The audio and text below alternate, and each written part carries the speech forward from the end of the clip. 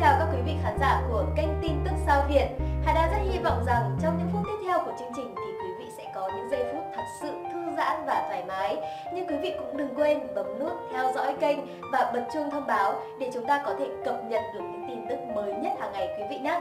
Còn bây giờ thì mời quý vị chúng ta hãy cùng đến với những tin tức nóng hổi nhất trong ngày hôm nay.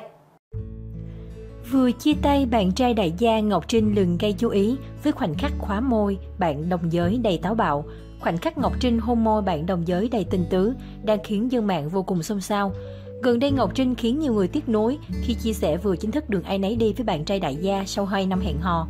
Hậu tan vỡ, Ngọc Trinh luôn tự nhắc nhở bản thân phải xinh đẹp, tài giỏi để tận hưởng cuộc sống sang chảnh độc thân vui tính. Khác với nhiều cô gái thường rơi vào mất cân bằng buồn bã sau chia tay, Ngọc Trinh thường xuyên hội ngộ vui chơi cùng bạn bè một cách vô cùng vui vẻ thoải mái. Cho đến mới đây, nữ hoàng nội y khiến dân tình không khỏi hoang mang khi chia sẻ khoảnh khắc khóa môi, bạn đồng giới cực ngọt ngào. Hành động thân thiết quá mức này của người đẹp vướng phải nhiều tranh cãi. Tuy nhiên, đây không phải lần đầu tiên Ngọc Trinh gây bất ngờ với nụ hôn nồng cháy như thế. Vì trước đó cô thường xuyên khóa môi bạn thân Quỳnh Thư và cô em gái thân thiết Linh Chi. Nhiều người bên vật Ngọc Trinh và cho rằng đây chỉ là một hành động thể hiện sự thân thiết và thoải mái của nữ hoàng nội y, chứ không mang ý nghĩa quá sâu xa. Ngọc Trinh khóa môi bạn đồng giới cực thân thiết, nụ hôn phản cảm trong quá khứ của Ngọc Trinh và bạn thân Quỳnh Thư.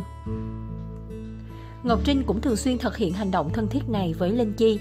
Mặc dù vướng phải tranh luận trái chiều, tuy nhiên người hâm mộ Ngọc Trinh bên vực và cho đây là hành động thể hiện sự thân thiết và thoải mái của nữ hoàng nội y, chứ không mang hàm nghĩa sâu xa nào.